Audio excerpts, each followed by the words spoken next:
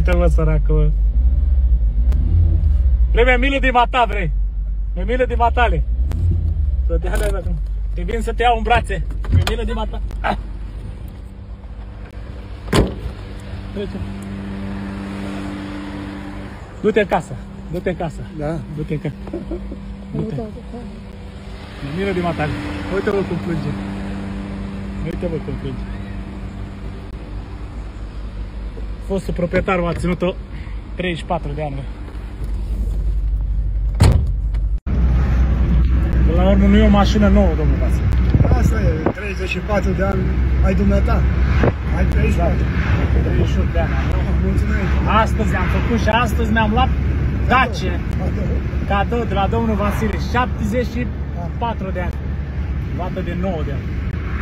Dacia 34, eu 74. Da? Emoții are domnul Vasile. Da, da, da. Ce zice domnul acum când au... O plâns, toată ziua plânge. Zi! Ce numai să nu mai văd, două să nu mai văd, zice. Că dacă o văd plâng. Ah, Când ieșeam din parcare să uita, când intram pe calea București, îl fugea repede din balcon și din balcon să uita să vadă cum iau sensul. da? Da. da. Așa am fost învățați. Ce ai să mai vă? Uite, vezi ce înseamnă sentimente? S-a legat de un, de un fier. Tu uite, săracul. Să aveți noroc de ea și să fie bine. Doamne ajută, domnul Ce ați Vasile, vă fost, spun n-aveți sincer. probleme.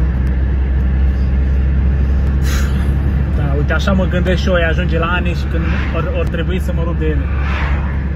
Aveți un urmaș, nu vă Da. țină băiat, fain. Dar Cine știe dacă îi place sau nu îi place. Da, asta, de azi nu se știe, că copiii în ziua de azi, Nu, se schimbător. da, a luat-o pe alte căi. Acum joacă fotbal, după aceea nu mai joacă fotbal, nu-i place, îi place altceva, îi place muzica, nu-i place. Exact. Exact. Ce le transmis la oamenii care sunt pasionați de dăce și de mașinile astea vechi? O vorbă așa, sau o vorbă de-a dumneavoastră pentru Dacia asta, ce bucurii v-a adus? Cele mai mari bucurii și satisfacții din viața mea. M-a dus pe unde mi-am dorit, fără probleme, fără accidente, nici vorbă de accidente, nu.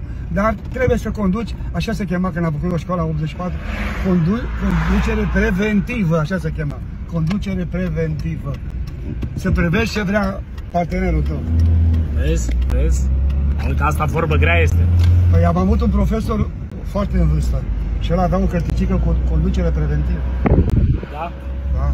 Și mi-a explicat foarte mult. Trebuie să știi ce vrea să facă adversarul tău, colegul tău de trafic. zice. De trafic, da.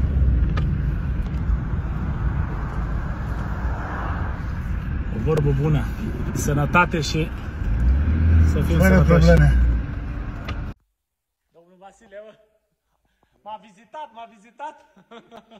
Da. Doamne ajută. Doamne ajută, sănătate. Doamne ajută, sănătate maximă.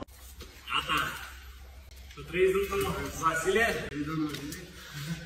Gheorghiță, Gheorghiță, Gheorghiță Alexa și să o stăpânești sănătos în continuare. Mă bucur că am căput pe mâine. Și așa cum e, extraordinar. Mă bucur. Da, cred că ați venit ca să vizitați, să vedeți în ce stadiu se află.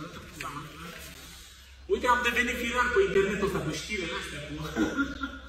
Tot critică ăștia, că am văzut în comentarii, că domnule, că ați dat-o că ați fost nevoit, că... Nu, nu, nu, nu stăteam în banii aia. Dar Eu știu. mi-a fost dragă și Ca să înțeleagă și domnii de aici după internet, uh, meseria dumneavoastră care a fost la bază.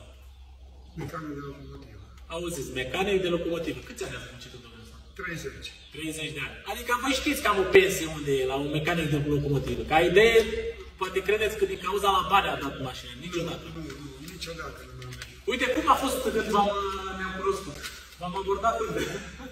A fost, uh, pentru mine a fost deosebit, pentru că m-ați urmărit, Da. m-ați depășit și în un moment dat mi-ați tăiat cara. Și m-am gândit, oare ce-o fi făcut? Am greșit cu ceva.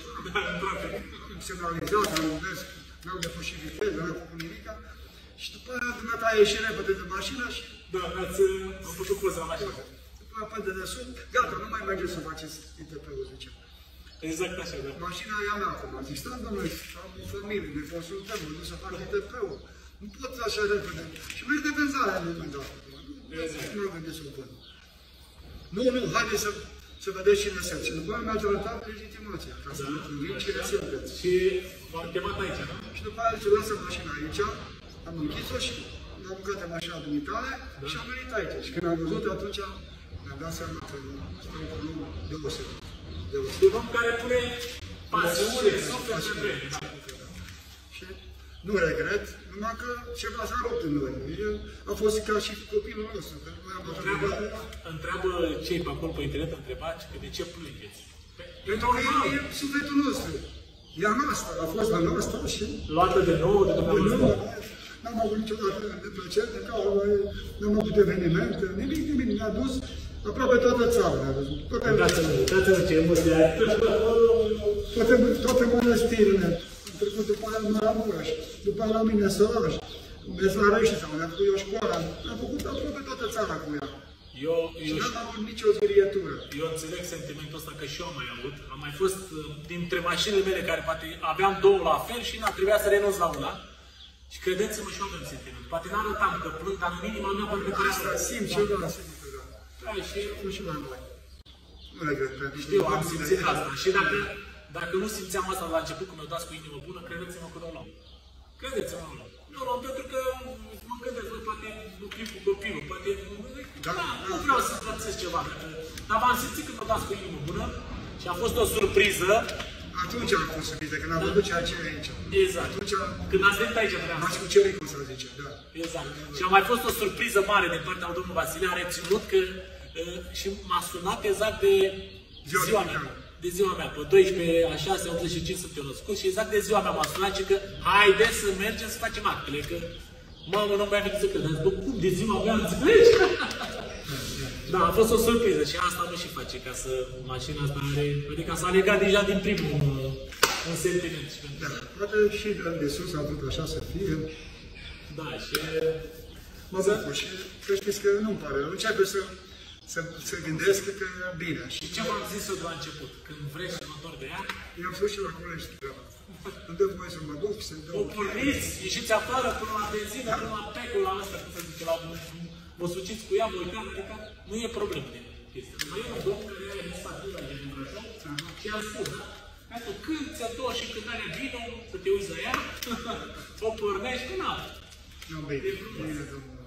Bine, domnul Vasile, ne-a părut bine, să înțeleagă și cei de acolo. Adică nu pentru bani, că nu stăteam în... Da. Cât am fost, nu, nu. Nu pentru bani, ca să înțelegeți, nu pentru bani mi-a vândut-o. Pentru, și dacă nu știa și nu vedea, Nu cine dădea. sunt? Nu o dădea. Și chiar spunea că aici o lăsăm să... da. Hai să vă arăt și mașinuța. Uitați-o cum arată. E la surorile ei aici. Nu i-a făcut nimic deosebit. Nimic, nimic.